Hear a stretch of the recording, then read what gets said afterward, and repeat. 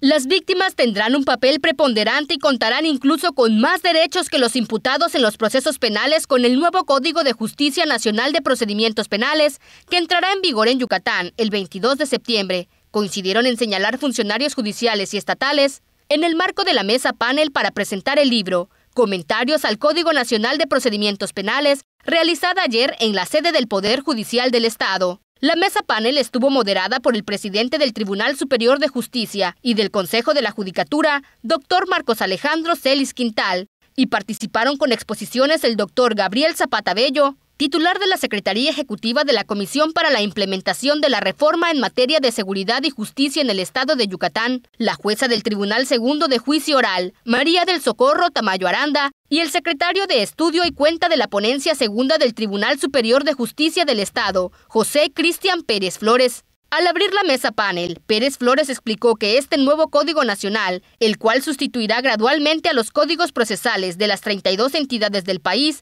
otorga a las víctimas el derecho de contar con un asesor jurídico gratuito en todas las etapas del proceso penal, la cual tendrá calidad de parte en las audiencias, es decir, podrá actuar en igualdad de condiciones, tanto como cuentan el Ministerio Público o la Defensa. Con este nuevo actor en los procesos, el asesor jurídico, el Ministerio Público dejará de tener la representación de la víctima, lo cual le permitirá realizar un trabajo más objetivo y eficaz, aseguró. Pérez Flores explicó que el asesor jurídico podrá presentar los alegatos ante el juez o el tribunal, al igual que hoy en día en las audiencias lo hacen los representantes de la Fiscalía y de la Defensoría, e incluso solicitar medidas cautelares. Esto quiere decir que aunque es facultad de los fiscales solicitar las medidas cautelares y la defensa podrá rebatir dicha solicitud, el representante jurídico podría plantear ante el juez otras medidas cautelares diferentes si así conviene a los intereses de su representada que es la víctima. Asimismo, podrá solicitar al juez otros medios de reparación del daño que dejen completamente satisfechas a las víctimas.